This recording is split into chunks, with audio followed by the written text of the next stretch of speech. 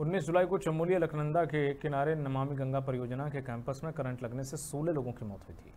पीड़ित परिजनों की ओर से परिवार को उचित मुआवजा और एक व्यक्ति को नौकरी देने की मांग की गई थी, लेकिन मामले में कोई भी कार्रवाई न होने के चलते परिजनों ने बुधवार को जिलाधिकारी कार्यालय पर जुलूस प्रदर्शन किया। जिलाधिकारी चमोली हिमांशु पुराना ने आंदोलनकारियों को बताया कि मामले के समाधान के लिए शासन स्तर पर वार्ता की जा रही है।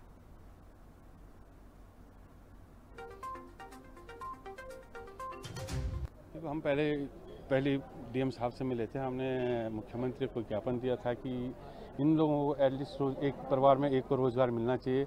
उनकी आजीविका बहुत वहाँ पे दयनीय है, किसी के घर में खाने के लिए नहीं है।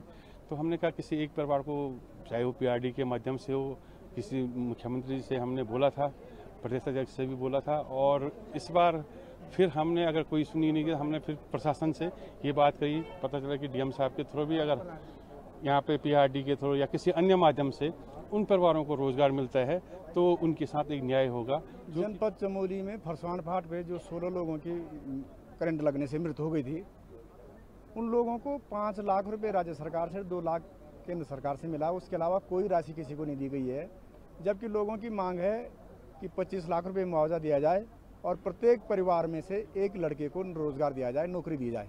वो आश्वासन अभी तक पूरा नहीं हो पाया इस संबंध में लोग भारी आक्रोशित हैं।